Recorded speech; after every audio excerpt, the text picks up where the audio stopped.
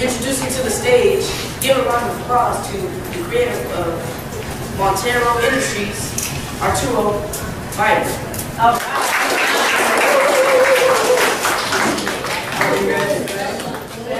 Good, good. Well, you know, I was uh, an engineer, but I background uh, as well.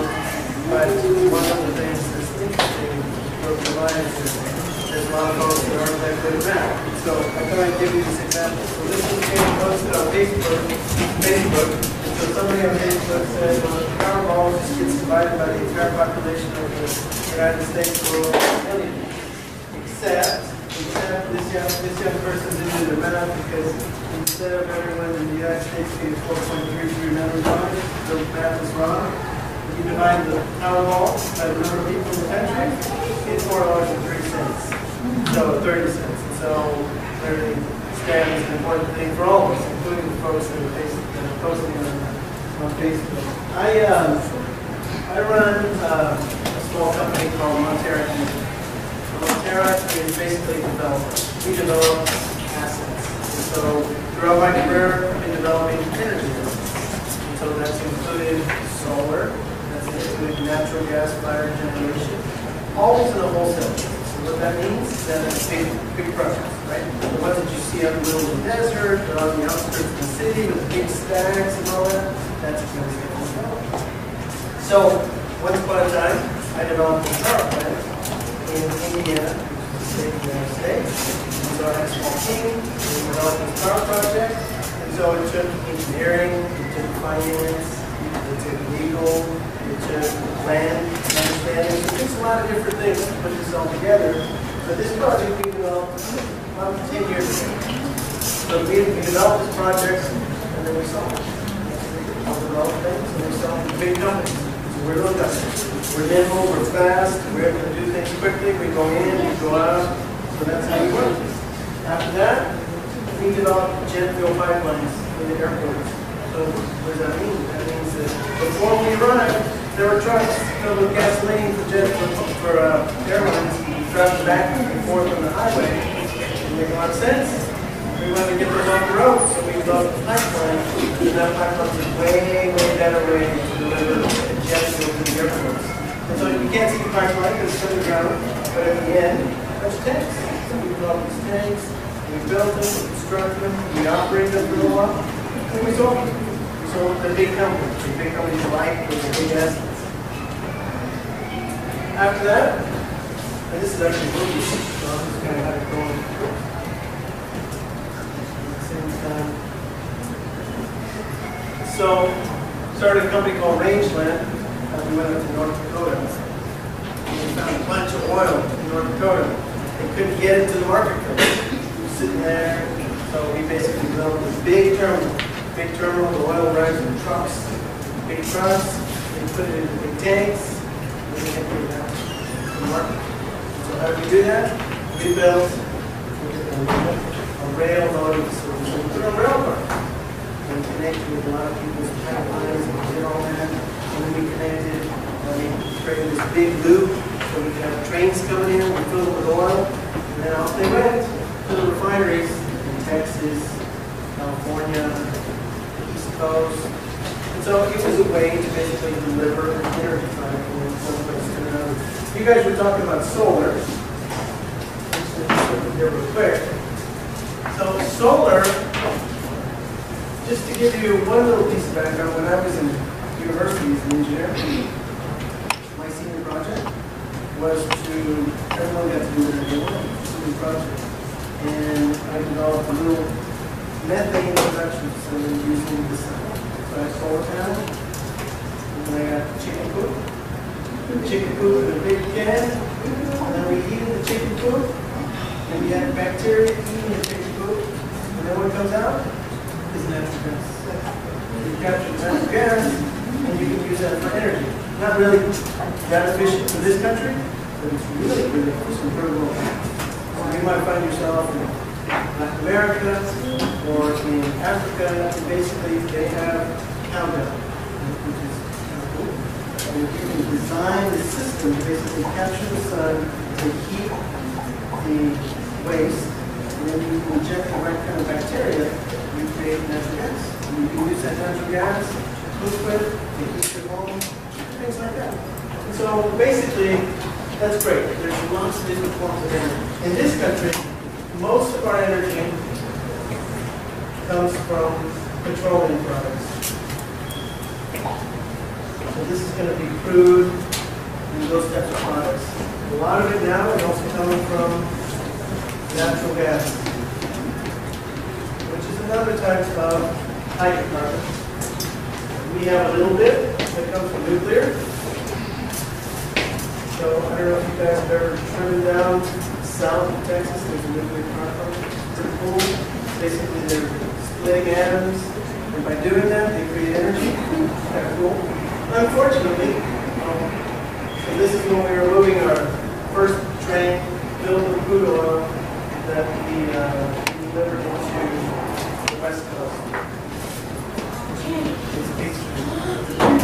A little bit, only a little bit today, of our energy in this country comes from wind, solar. That's today. This is all changing, right? This is all changing. So what am I, what is it that I and my company do for a living? We go to where the need is and where the opportunities are. So today, we're developing projects for oil and gas, because that's where the need is. And we're- Today, what we're doing at Monterra Energy, we're developing a project in the country of Mexico. Because Mexico needs a lot of energy. And we're doing it in the country of Mexico. Same deal. We're a team of less than ten people. Ten people can go in and basically find land, can get the capital, money, can build assets, big assets, like the ones you've seen. You can operate those assets and then sell them. Ten people can do all this. That's pretty cool. I think it's cool. But, to- but today, most of that project development is going to be right. Nobody develops nuclear happen. But it's oil and gas, natural gas. That's what we're doing most of these days. Our lead business, but this is for the future. So we've been working with the project developing solar projects. The solar, the technology is moving very quick, very fast. Good things are happening in solar. It's very special. Let me find another chart here.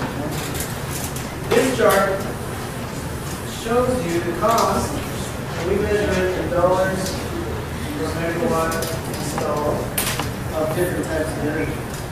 So right now, I'm gonna, we're gonna talk about power plants. So if I wanted to build a nuclear power plant, it's super expensive. It's like five thousand dollars per megawatt installed. Really, really expensive, right? So really expensive, but the energy's free. It's almost free, the operating cost is very low. If I install a solar project out in the middle of the desert, a big one, maybe that's gonna cost me twenty-five hundred dollars. Again, the energy's free, it's pretty cool. Or I can install a natural gas fired power plant, that only costs me a thousand dollars per kilowatt hour install, or kilowatt install. So this is really inexpensive for natural gas. This is gonna be for nuclear, solar, right?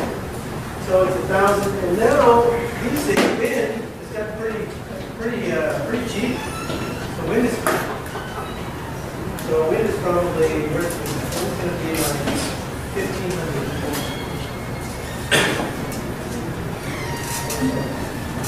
So all I'm trying to say is that there's always a need. This is a, always a changing mix. Always. The world is constantly changing, technology is constantly changing. When we went to North Dakota, which was the previous aspect I would get oil out of rocks. Nobody had told us. We have discovered as human beings using technology, that we drill underground, drill in the rocks, basically squeeze the oil and gas out of the rocks. Incredible. Technology. Technology allows us to do that. That's why North Dakota, they went from general, producing about a thousand or hundred and fifty thousand, a hundred thousand barrels per day to one million barrels per day in the span of about four years. Incredible. All because humans, you guys, you and the rest of us, we use science, technology, and math. And even if you're not the guy that's drilling, you to understand and math. Today, right now, Google, who uses Google? Everybody here uses Google. Google, every time you click Google, all that information goes to create an algorithm. You know who you are? They are using math to basically define you as a human being. They say to this young man here, I've got a formula on him because every time he clicks, playing this kind of game, buying this kind of product. I've modeled in mathematics. Pretty cool. Science, engineering, and math. All that allows us to understand the of generation, how much it costs, and then from there, people like me, we go and develop these projects wherever they're needed. We use hundreds of millions of dollars to develop this project. To build it. Develop this, development is hard. You have to go into the community, in this case, the country of Mexico. Mexican heritage, but I'm not a Mexican, I'm an American. So I go to the city and I go and I say, can I please build this asset, this terminal in your backyard? With permission. I have to do environmental impact report, I have to do all kinds of things. And then I have to go out to your clients, to your customers wanting this asset. And then I got to go with assets themselves, so you build things, and pipes and all that.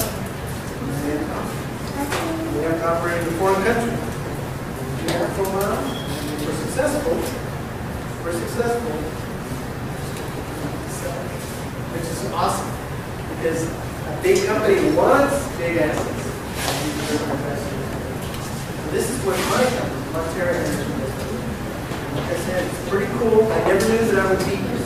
When I was studying engineering for a long, long time ago, I thought I was going to be sitting behind the desk, doing mathematical formulas, trying to design and stuff.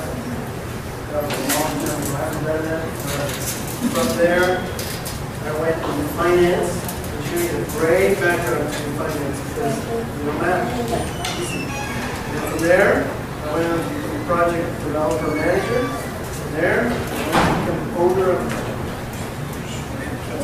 All began science, technology, and So that's a little bit of Ontario energy. I don't want to take up too much of your guys' time. You guys have any questions? Yes, sir.